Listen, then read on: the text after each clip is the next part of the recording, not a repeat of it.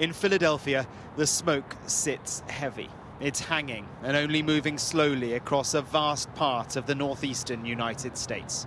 And this is where it's been worst through the day. At the city's airport, flights were paused for a few hours. Visibility was so poor. And don't assume this is just cloud.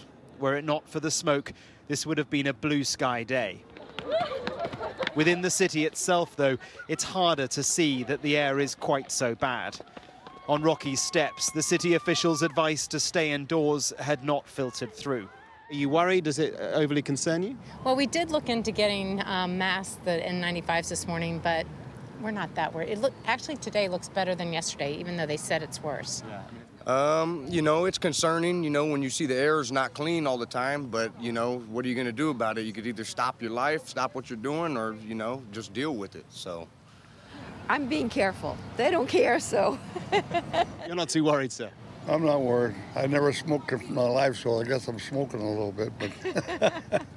The striking thing is that you can smell and feel the heaviness of smoke produced by wildfires well over a thousand miles to the north of here. This is central Philadelphia, where the air quality index was well over 300 at one point. That is hazardous and it is record breaking.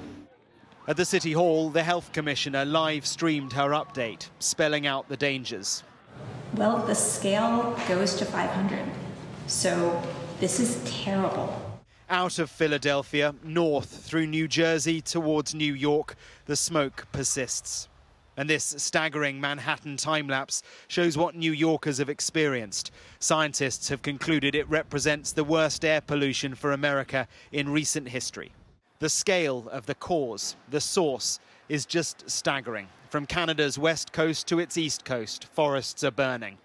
The country is set for its worst year on record already, and we are far from being at the peak of the season. In British Columbia, Donnie Creek is the second largest fire in the province's history, covering the equivalent of almost 450,000 football pitches, and it's growing.